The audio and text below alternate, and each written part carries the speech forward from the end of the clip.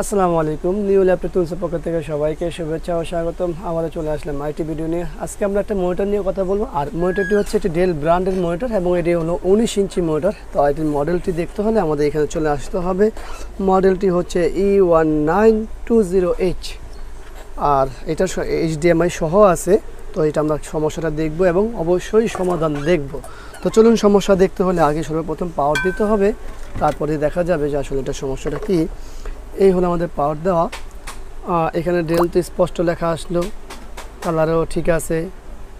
এখন আমাদের check the signal কেবলের যে কালার আছে সেটাও ঠিক আছে। তো চলুন আমরা এখানে ভিজিএ কেবল লাগিয়ে দেখি যে মূল সমস্যাটা কি। আর ভিজিএ কেবল লাগানোর জন্য আমাদের এই মোটর থেকে কেবলটি খুলবো। এই হলো আমাদের কেবলটি খোলা এবং এই কেবলটি আমরা এইখানে লাগিয়ে দিব। এই হলো আমাদের বিজিএ কেবল কানেকশন হ্যাঁ দেখুন আমাদের কালার কি অবস্থা। তো এখানে আমাদের কিন্তু মেনু যদি চাপ দিই, সেক্ষেত্রে কি আসে? মেনুতে কালার ঠিক আছে। তারপরে আমরা একবার ফ্যাক্টরি রিসেট মারবো। চলুন আমরা চলে যাই ফ্যাক্টরি রিসেটে ফ্যাক্টরি রিসেট সিলেকশন নিচে চলে আসি। তারপর ইয়াস করে দিই।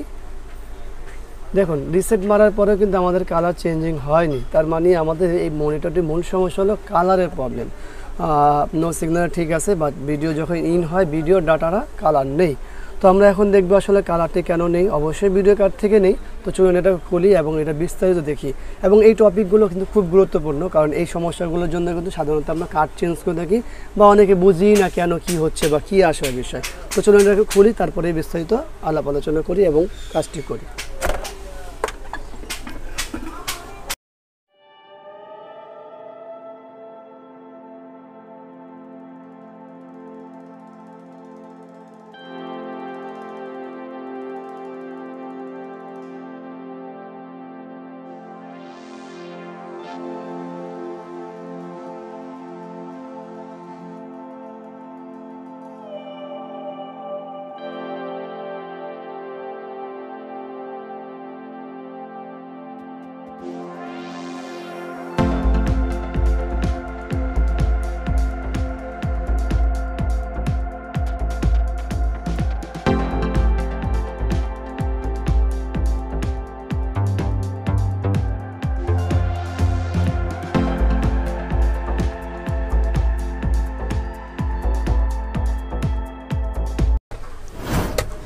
এই হলো আমাদের ব্যাক পার্টটি ওপেন করা হয়ে গেল। আর এই তো আমাদের মূলত বাকি সব কিছু তো এখন এখান থেকে আমাদের খুলতে হবে।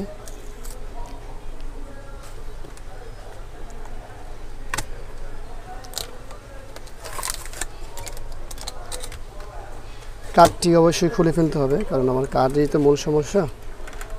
এই হলো সব কিছু দেখুন, এখানে যে আধুনিকের যে ব্যবস্থাগুলো করা হয়েছে, আমাদের যে আইসিগুলো ব্যবহার করা হচ্ছে, আমি জানি না এইগুলো পাওয়ার বোর্ডের সমস্যা হলে পরে কি করার থাকবে আমাদের?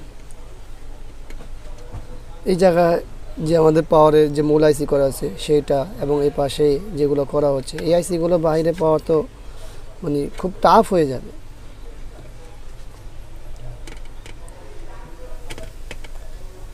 একটা সময় আমরা এই আইসিগুলো দেখতাম সিডি রুমের ভিতরে যে এই ক্যাটাগরি আইসি যে আপনার কি বলে, সে লেজারটা রিড করার জন্য যে আইসিটা ব্যবহার করা হতো সেটা ছিল এরকম আইসি আর এখন সেই জায়গায় এই এই ক্যাটাগরি আইসি পাওয়ার সেকশনে চলে আসে। তো সামনে এগুলো তো বাংলাদেশের যে ওয়েদার সরি বাংলাদেশের যে ভোল্টেজগুলো আছে আপ ডাউন বা সব কিছু মিলিয়ে ওয়েদারের সাথেও তো সম্পর্ক আছে।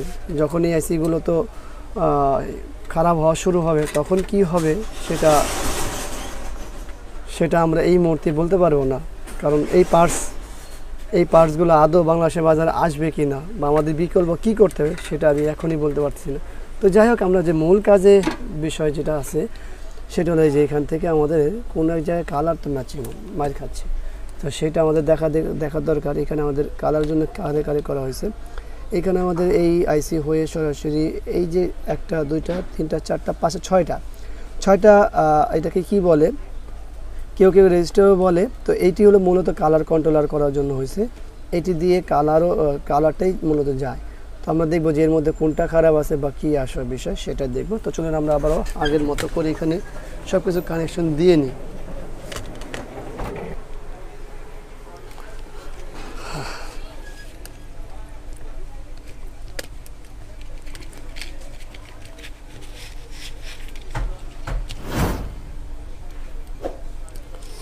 একবার আমরা আবার পাওয়ার দেব।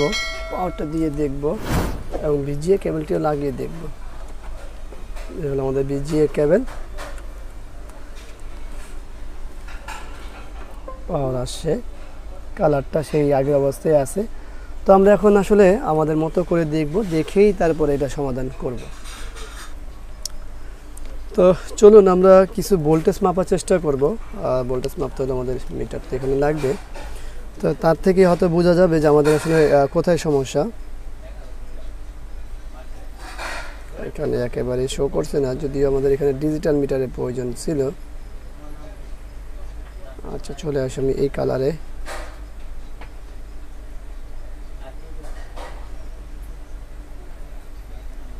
এক, দুই।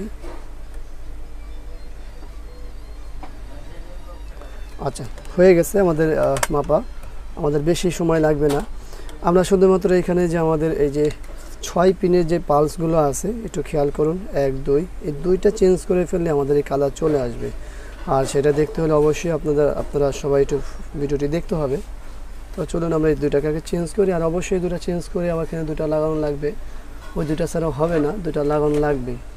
তো আমরা একটা আগে আইসির ব্যবস্থা করি, তারপরে দুটা চেঞ্জ করি। তো আমি একটা পার্স পেয়েছি। দুটা এখনও মিলাতে পারিনি, কিন্তু আমি দুইটার জায়গায় সর্বপ্রথম একটা লাগিয়ে দেখার চেষ্টা করব। এইটা আগে খুলিনি এইটা। ওর উপরেরটা আমি চেঞ্জ করব। হয়ে গেছে, একটু হিট কমা নিতে হবে হিট বেশি আছে।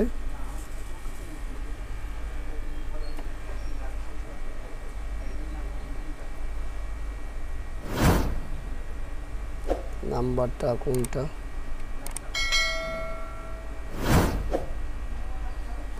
এটা এটা হবে না।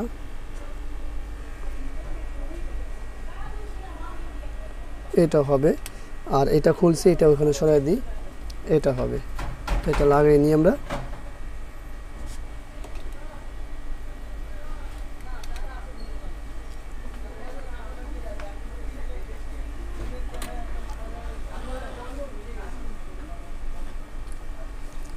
বেশি গরম আছে হট গানটি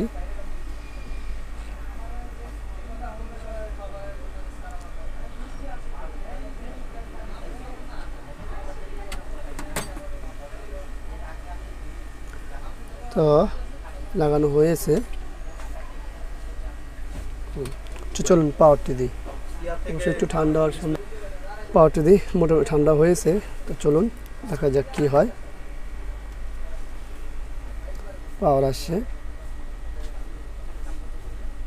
কালারটিও চলে আসে। তো আমরা এটা এখন ফিটিং করব। তারপরে আরও বিস্তারিত দেখব। একটু সময় দিন আমাদেরকে। তো মোটরটি ফিটিং করলাম। ফিটিং করার পরে আমরা এখন অন করে দেখব। বিজিএ কেবল এবং পাওয়ার কেবল দুটোই কানেকশন করছি।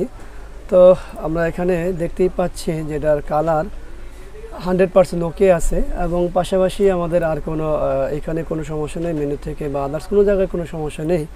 যদিও মেনুতে সমস্যা ছিল না সিলে শুধুমাত্র হলো কালার থেকে সমস্যা। আমরা ফ্যাক্টরি রিসেট মেরেছিলাম, তারপরেও কালারটি ঠিক হয়নি। আর এখন আমরা শুধুমাত্র এই আইসিটি চেঞ্জ করার পরে কি হলো, সেটা তো দেখতেই পাচ্ছেন। তো আসলে শুধুমাত্র এই ভিডিওর মাধ্যমে শুধু একটি বিষয়, যে সেটা হলো যে এই ধরনের সমস্যাগুলো কিন্তু সমাধান হয়। আমরা অনেকেই কিন্তু এই সমস্যাগুলো সমাধান না করতে পারি কি করি, আমরা কার্ড চেঞ্জ করি।